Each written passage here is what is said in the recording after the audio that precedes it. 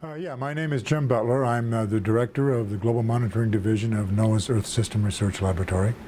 The, an the annual greenhouse gas index is a measure of the climate warming influence of a suite of greenhouse gases that we measure in the atmosphere routinely over decades. These gases are in very low concentrations, some of them, others are just low concentrations.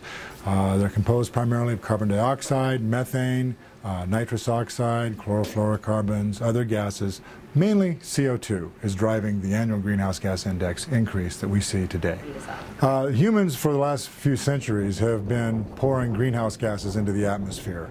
Uh, and we have been monitoring this very, very tightly at hundreds of sites over the last 50 years, but we are able to draw records actually about the last 60 years, but we are able to draw records uh, going back through snow and ice records back through 800,000 years.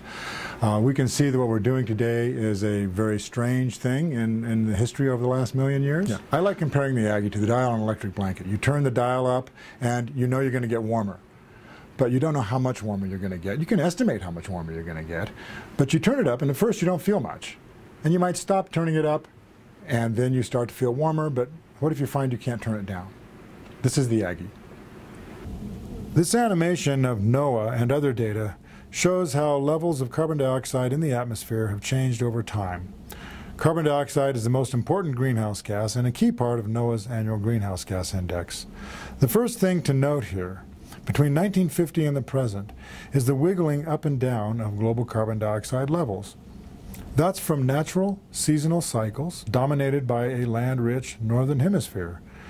The fact that the wiggly line rises steadily upward, however, is because of steady emissions of greenhouse gases into the atmosphere by human activities. Once we go back to before the 1950s, we turn to bubbles trapped in old ice layers and snow for information about the composition of the atmosphere. You can see various cycles up and down as we go farther into the past, mostly caused by wobbles in Earth's orbit at a time scale of about 100,000 years.